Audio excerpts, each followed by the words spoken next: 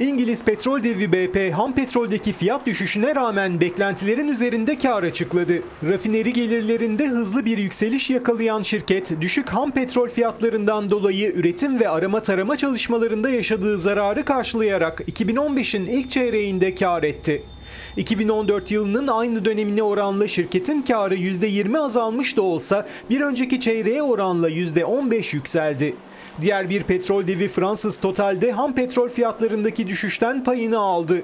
Yılın ilk çeyreğindeki karında net bir düşüş yaşayan şirket, İngiliz rakibi gibi rafineri gelirlerinde artış sağlayarak zararını düşürmeyi başardı. Türkiye piyasasından da çekilmeye hazırlanan şirket akaryakıt üzerinde %60'ı aşan vergi oranlarından dolayı kar etmekte zorlanıyor.